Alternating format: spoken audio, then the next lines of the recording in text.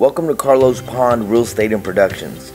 In this series of videos, you will learn a simple step-by-step process on how to edit real estate photography in a manner that will determine if you qualify to be part of our expanding staff.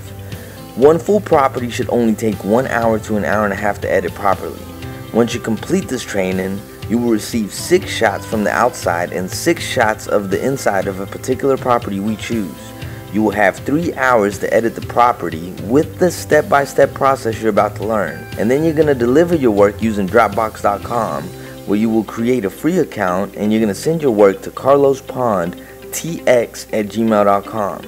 Our admins will review the quality of your work and we will determine if we will bring you on board for our national expansion where you will get paid per property upon delivery. Let's not hesitate, let's begin.